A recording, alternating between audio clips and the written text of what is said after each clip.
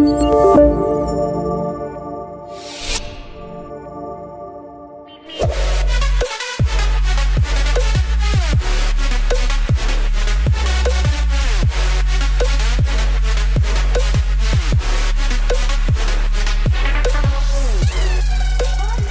ဟုတ်အဲ့တော့ကတော့ငယ်သေးတာပေါ့နော်။ကျောင်းဆက်ဆက်တက်ချင်း Fast MB တော့ဆိုတော့ဘာမှအဲ့လောက်ထိမသိသေးဘူးပေါ့။ ဒီတိုင်းတက်ကတူတက်ရတယ်ဆိုတော့ပြောတာပေါ့နော်။အခုကစပြီးတော့အဲအဲ့တော့သူတို့ Queen ရွေးကြရဲဆိုတော့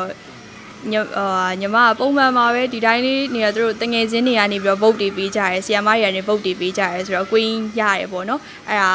ဘာဖြစ်ဖြစ်တက်ကတူចောင်းသားဘဝရဲ့ပျော်စရာကောင်းတဲ့အမှတ်တရလေးတစ်ခုပေါ့အမြဲအမှတ်တရနေတဲ့ဟာလေးပေါ့ဟုတ်ဘယ်လိုထိမ့်သိမ့်လဲဆိုတော့ ညီမကဘယ်လိုပြောမလဲလှနေတာဟိုသဘောကျရပေါ့နော်ကိုယ့်ဘာကိုကြည့်လိုက်လို့လှနေရဆိုရင်ပျော်နေတာပေါ့အဲ့ဒါကဝါသနာဖြစ်တနေ့နေ့ကြောင်းသွားကန်နေအလှပြင်ရလဲဝါသနာပါရဲ့လှလှလေးဝေးရဝါသနာပါညီမအင်ကြီးလေးဝေးပြီးတော့နေရလဲကြိုက်တဲ့ခါကြတော့ဟုတ်ထွေထွေတူတူထိမ့်သိမ့်ဖြစ်တာမဟုတ်ပေမဲ့သဘောကျလို့ဆိုတော့ဟုတ်ကဲ့ကျေးဇူးတင်ပါတယ်မြန်မာဝတ်စုံပြင်ဆင်တာကတော့အဓိကမေမေပေါ့နော်မေမေကတော့အမြဲတမ်း तू ကသွားတယ် ပိတ်စာလေးဝယ်လာတယ်သူစိတ်ကူးလေးတွေကပုံလေးနဲ့အငဲချုပ်ပေးတယ်။ဟောညီမဝတ်လိုက်တော့ तू ကသဘောကျတယ်ထက်ချုပ်ပေးတယ်အဲအဲ့လိုလေးပေါ့မမေကပဲအဓိကထားပြီးစီစဉ်ဖြစ်ပါတယ်။ညီမကိုရန်ကလည်းညီမဝတ်စုံဝတ်လိုက်လို့ရှိရင်ကိုယ့်ကိုယ်ကိုသဘောကျတဲ့ခါကျတော့ပေါ့နော်ညီမဝတ်စုံတော်တော်လေးဝတ်ဖြစ်ပါတယ်ဟုတ်ဒါမင်းရဲ့ဒီဇိုင်နာပေါ့။မမေကပင်တိုင်းဒီဇိုင်နာပါ။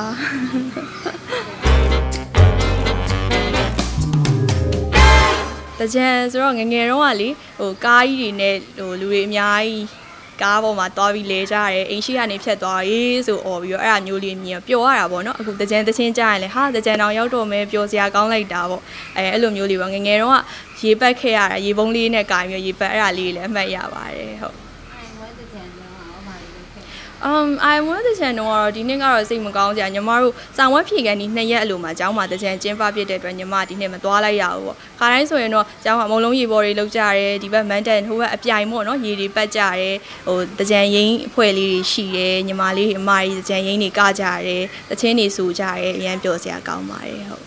အာတကြံကမိသားစုနဲ့ခီးသွားမှာပါဟုတ်အခု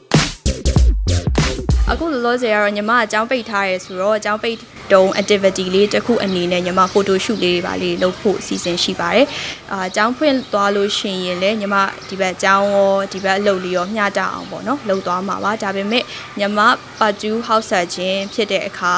အခါမျိုးကြတော့ညီမတိတ်လို့ဖြစ်မှာမဟုတ်တော့ဘူးပေါ့နော်ညီမအကြောင်းစာအကြောင်းဘက်ကိုပို့ပြီးတော့အားပေးပြီးတော့ဘွဲရတဲ့အခါကျရင်တော့ညီမဆရာဝန်တယောက်အနေနဲ့ပဲရည်တည်သွားမှာပါ။အာဒီနှစ်သက်ကူအခါတမယမှာစိတ်သက်လူသက်နဲ့စိတ်ချမ်းသာခြင်းကိုယ်ကျန်းမာခြင်း